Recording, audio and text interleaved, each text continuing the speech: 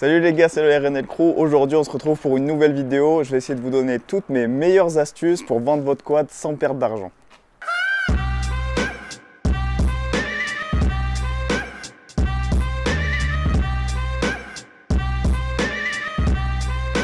Donc le but dans cette vidéo, ça va être de revendre au minimum le même prix que vous avez payé le quad et d'y ajouter aussi vos options. Admettons, je ne sais pas, si vous avez mis euh, des nerfs bars, un pot d'échappement, ben voilà, vous avez payé votre quad 5000, avec euh, ces options-là, ça vous a coûté 5500. Euh, Donc le but, ça va être de le revendre 5500.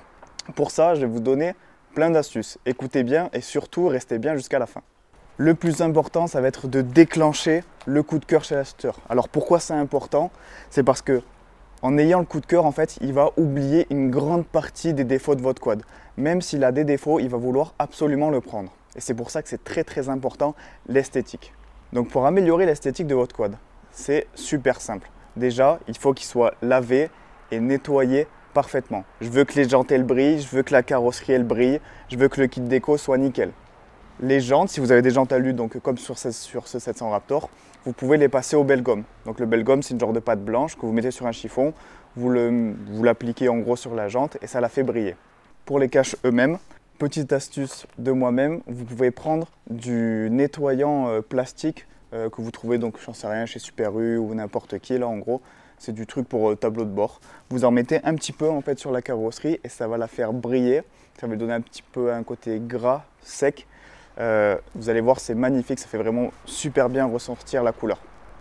Et ensuite, le plus important que je suis en train de faire sur ce quad, parce que oui, ce quad est destiné à la vente, je change le kit déco. Je change le kit déco, ne vous ruinez pas. Vous voyez là par exemple, euh, c'est un petit peu décollé, il y a un petit peu des endroits un petit peu partout où c'était pas terrible. Du coup, je suis allé sur un site de quad de vente en ligne, hein, un site de pièces comme EasyQuad par exemple, et je me suis acheté un petit kit déco. Pas besoin d'en faire un perso ultra cher, tout ça. Il était en promo, 50 euros, ça fait propre. Lucas, tu peux nous l'apporter s'il te plaît?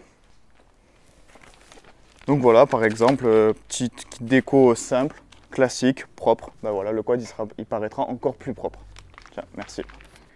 Pour tout ce qui est entretien et consommable du quad, il faut que ce soit dans un état irréprochable. C'est-à-dire que s'il y a des défauts, ça va être une perche tendue euh, pour l'acheteur de vous négocier le prix. Et ça, c'est vraiment pas notre but. Je vais vous donner un exemple, les pneus. Les pneus, s'ils sont en bon état, vous pouvez les garder comme ça. Si par contre ils sont croqués, vous savez qu'à coup sûr, l'acheteur va vouloir vous les négocier. Alors, vous les changez. Pas besoin de mettre du haut de gamme avec du Maxi Serra ZR2 à 120 balles de pneus. Vous pouvez mettre de l'entrée de gamme. Donc ça va être beaucoup moins cher. Et le mec, il sait qu'il peut partir euh, rouler pendant euh, des mois. Et au moins, ça, ça rassure le vendeur. C'est exactement la même chose sur l'entretien du quad. Si le mec vient, qu'il enlève la selle et qu'il voit que le filtre à air il est dégueulasse, eh bien, il va se dire bah, cette machine n'a pas été entretenue, donc je vais négocier le quad, j'ai pas confiance en vous. Alors que vous lui faites une petite vidange propre, un filtre à huile, un nouveau filtre à air, eh bien voilà, le mec il va ouvrir, il va être content, il va se dire bon ok, ben, ça c'est une machine qui a été entretenue, je peux faire confiance au vendeur.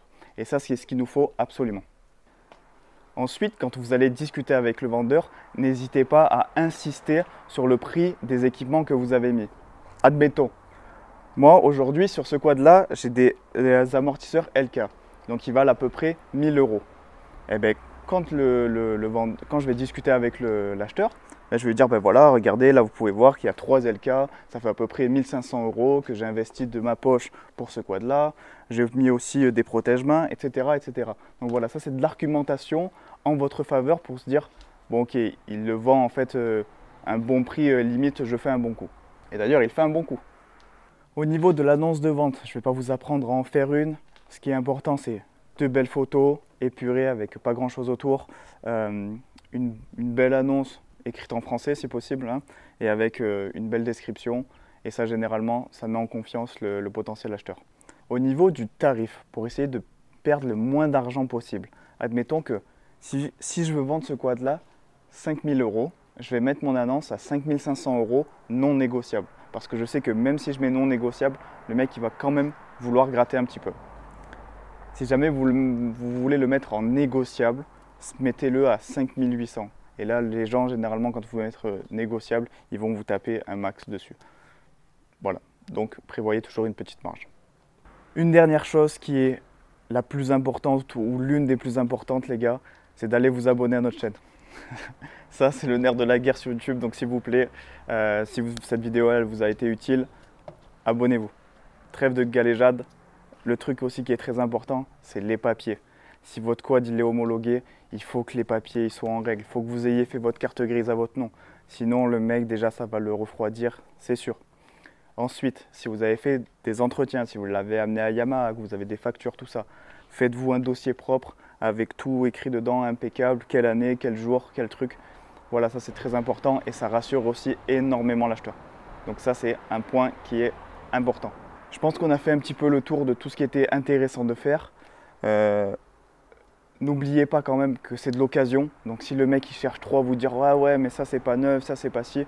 Enfin je veux dire de partout, il y, a des, traces où ben, forcément la botte elle va frotter sur le cadre, donc le cadre il est un petit peu frotté. Mais c'est de l'occasion. N'hésitez pas non plus à dire euh, au potentiel acheteur que s'il veut, il y a des quads neufs chez Yamaha à 13 000 euros. Donc voilà, en dernier exemple, pour résumer, je vais vous donner l'exemple de ce quad là.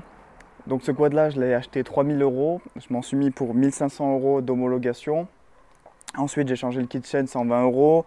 Euh, j'ai fait la plaque d'immatriculation, ça m'a coûté 20 euros.